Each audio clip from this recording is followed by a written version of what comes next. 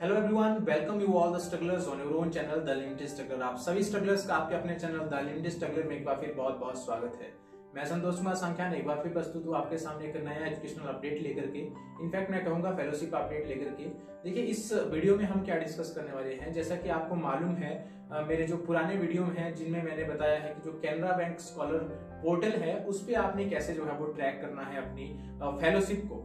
अब बहुत सारे लोग ये बोल रहे हैं कि जी, उस पर जो है हमारा जनरेटेड का स्टेटस आ रहा है और जो वहाँ पे स्टेटस आते हैं, जैसे पेंडिंग विद यूनिवर्सिटी है या जिसके बाद आता है अप्रूव्ड या जनरेटेड का स्टेटस चेंज होता है, उनका क्या मतलब होता है वो भी मैंने आपको पहले बता रखा है।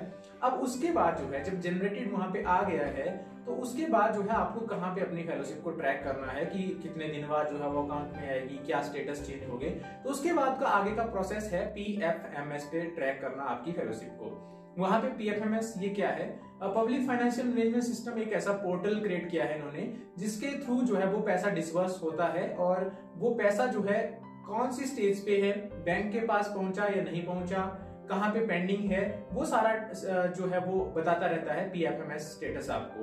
तो आपको पीएफएमएस पे पोर्टल पे जो है वो कैसे अपने फेलोशिप के स्टेटस को चेक करना है, क्या क्या डिटेल चाहिए? डिटेल जनरली वहाँ पे चाहिए होती है आपका अकाउंट नंबर आपके बैंक का नाम और एक कैप्चा जो है वो भरना होता है। और उसके आधार पर वो आपको बता देता है कि कौन सी स्टेज पे जो है वो आपका फंडिंग जो है वो अभी पहुँची है कि वो आपकी एजेंसी के पास पेंडिंग है या बैंक के पास पेंडिंग है या कब तक जो है वो आपको पेमेंट हो जाएगी। तो कैसे जो है उसको ट्रैक करना है, वो इस वीडियो में मैं आपको बताने वाला हूँ। तो वीडियो को लास्ट तक देखें लास्ट में लाइक ज़रूर करें। कमेंट करेंगे अगर आपकी कोई क्वेरी होती है तो शेयर करें अपने दोस्तों के साथ ताकि सबको वैल्यूएबल इन्फॉर्मेशन मिले। और सब्सक्राइब कर ले मेरे चैनल को अगर आप नए मेरे चैनल पे, ताकि एजुकेशन सेक्टर से रिलेटेड हर लेटेस्ट अपडेट आप तक जल्दी से जल्दी सबसे पहले मेरे चैनल के माध्यम से पहुँचे। तो आइए दोस्तों, शुरू करते हैं।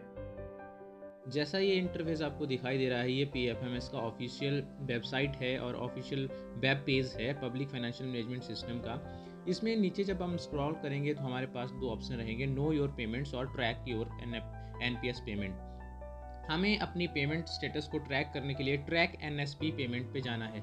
इस पर क्लिक करने के बाद हमारे पास कुछ इस तरह से जो है वो इंटरफेस ओपन होगा, जिसमें कुछ डिटेल्स मांगेगा, जैसे बैंक अकाउंट का नंबर है, बैंक का नाम है और इसके बाद जो है वो कैप्चा हमें भरना होता है।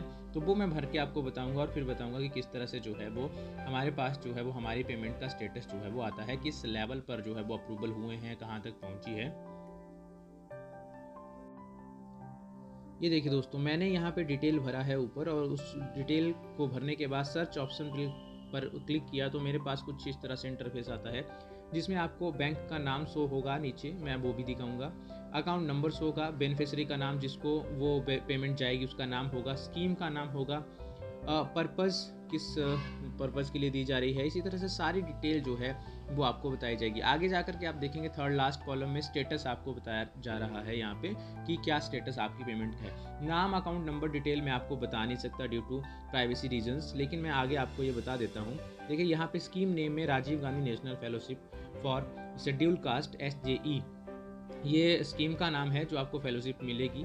Purpose R G N F S C है एच आर ए अमाउंट है फेलोशिप अमाउंट है कंटीजेंसी अमाउंट है, ये सारा आपको यहाँ पे बताया जाएगा। ठीक है? एजेंसी का नाम यूनिवर्सिटी ग्रांट कमीशन क्रेडिट जो ट्रांजैक्शन आईडी है, किस आईडी के अकॉर्डिंग ये आप अंडर जो है ये प्रोसेस हुई है पेमेंट और कितना अमाउंट अगर आपका एचआरए है तो 2000 अमाउंट या पच्चीस अमाउंट जो भी आपकी लोकेशन के हिसाब से एच बनता है। फेलोशिप का amount thirty one thousand G के लिए और थर्टी फाइव थाउज़ेंड जो एच आर एस के लिए रहता है। और यहाँ पे जो स्टेटस है, आप देख रहे हैं यहाँ पे under processing with bank for payment यहाँ पे दो तरह का स्टेटस आपको रिफ्लेक्ट करेगा ये। पहला under processing with agency agency का मतलब है कि यूजीसी अभी आपकी फेलोशिप जो है वो अप्रूव तो कर दी है उसने यूजीसी के पास से डन है, लेकिन वो कुछ ही क्षणों में या कुछ ही दिनों में जो है, वो कैनरा बैंक वालों को सौंपेगा और फर्दर कैनरा बैंक जो है, वो आपके बैंक को हैंड करेगा या आपके अकाउंट में ट्रांसफ़र करेगा, अगर आपका कैनरा बैंक का ही अकाउंट है तो। लेकिन जब यूजीसी वो पैसा कैनरा बैंक को दे देगा, तब उसके बाद अगला स्टेटस चेंज होगा under processing with bank for payment कि आपके बैंक में पैसा आने वाला है और जैसे ही ये स्टेटस रिफ्लेक्ट करता है तो लगभग दो या एक दिन में आपको जो है वो पैसा आ जाता है। तो इस तरह से यहाँ पर दो ही स्टेटस आपको शो होंगे। तो पी एफ़ एम एस पे कैसे ट्रैक करना है, ये मैंने आपको बताया इस वीडियो में। इससे पहले जो कैनरा बैंक पोर्टल है, उस पर कैसे ट्रैक करना है वो मैं पिछली वीडियो में बता चुका हूँ। हालाँकि ये वीडियो अपडेट करने के लिए मुझे थोड़ा सा समय लग गया क्योंकि जिससे मैंने इन्फॉर्मेशन मांगी थी उनका अभी नो रिकॉर्ड फाउंड आ रहा था। आ, मतलब अभी तक उनकी पेमेंट अंडर प्रोसेस नहीं गई थी जिनका वो अकाउंट था। ठीक है तो आई होप आपको वीडियो पसंद आया होगा। अच्छा लगा तो लाइक ज़रूर करें कमेंट करें। अगर आपकी कोई क्वारी होती है तो शेयर करें अपने दोस्तों के साथ इस वीडियो को ताकि उनको भी पता लगे कैसे पी एफ़ एम एस पे ट्रैक किया जा सकता है। और सब्सक्राइब कर लें मेरे चैनल को अगर आप नए मेरे चैनल पे ताकि एजुकेशन सेक्टर से रिलेटेड हर लेटेस्ट अपडेट आप तक जल्दी जल्दी सबसे पहले मेरे चैनल के माध्यम से पहुँचे। Thank you thanks